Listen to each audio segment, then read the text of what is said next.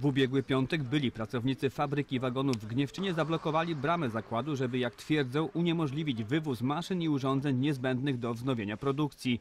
Syndyk twierdzi, że niczego wywozić nie zamierza. Zachęca za to do udziału w przetargu, na którym będzie licytowane wyposażenie zakładu.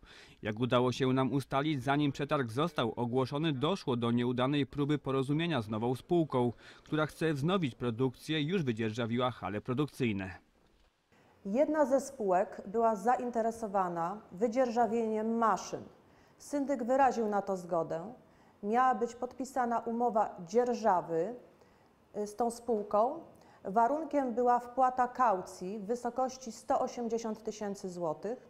Kaucja ta miała być zabezpieczeniem prawidłowości wykonania tej umowy i tego majątku, który był przedmiotem umowy dzierżawy.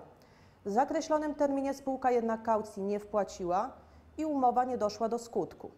Dlatego syndyk zdecydował się w drodze licytacji sprzedać majątek upadłej firmy. Maszyny do naprawy i produkcji wagonów kolejowych zostały wycenione na ponad 7 milionów złotych.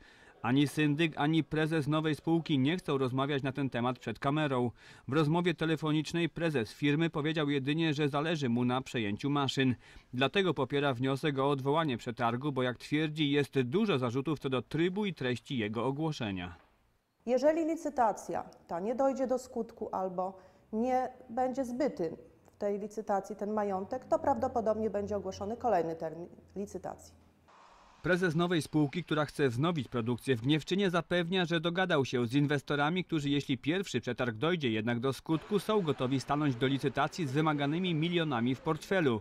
Na finał tej sprawy z nadzieją czeka zwolniona załoga firmy, a pracowało w niej aż 1300 osób.